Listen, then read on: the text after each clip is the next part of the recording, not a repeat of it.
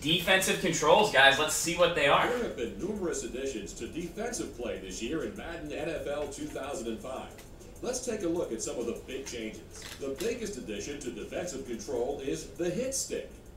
Using the right thumbstick, you can sell out and try your best to lay a big hit on the ball carrier. Hit stick tackles are much more likely to cause fumbles, but also run a high risk of being avoided. Let's look at how it works. Here you are, a linebacker, and a receiver is heading your way. As he goes up for the pass, quickly move the right thumbstick in any direction and lay the big hit. Now watch what happens if you mistime it. As you can see, there's a definite risk to going for the big hit rather than trying to keep your form and bring him down. Here's another example. The ball carrier has decided to change his mind and not follow his blocker. Bad idea. You come up on pursuit, Quickly move the right thumbstick in any direction as you approach and ouch! As you can see, you can really change the momentum of a game by risking it all with the hit stick. The hit stick is for real. strip ball system.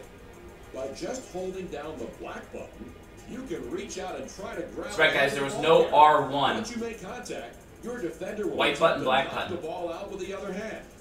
As with the hit stick, this is a high risk maneuver.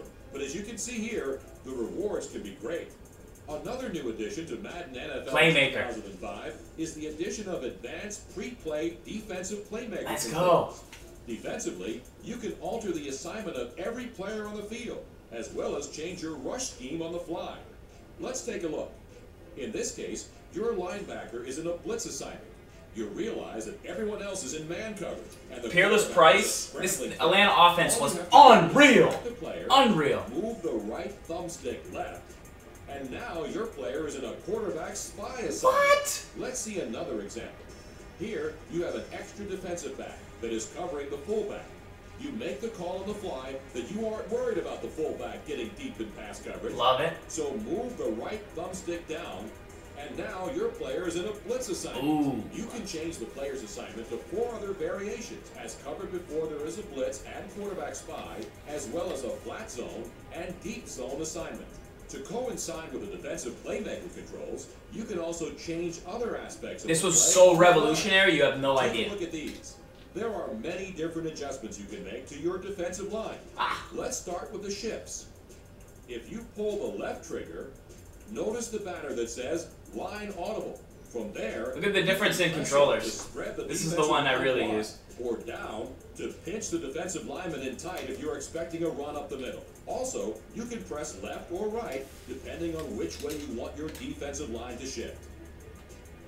You don't have to just change their position, their assignments can be changed as well. To do this, pull the L trigger again. Then, move the right thumbstick up. Now the defensive lineman will take a looping outside rush. If you want them to crash the middle of the field, just move the right thumbstick down. There are two more options with the right thumbstick. Right will make the defensive lineman crash to the right at the snap, and left will make Detmer the in the game? No Vick? Must have got injured.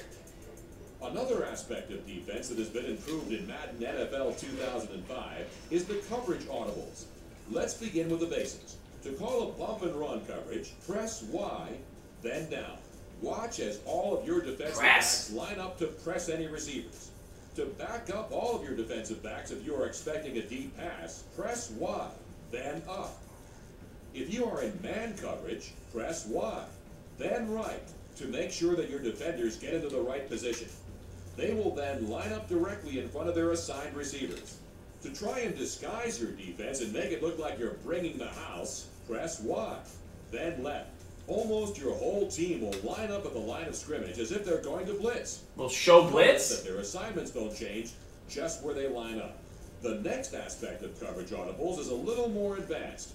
Madden NFL 2005 now gives you the ability to press or play off of individual receivers instead of controlling the whole defensive backfield. Huge. To do this, Huge. press Y, the passing icon of the receiver you intend to press, then down on the directional pad.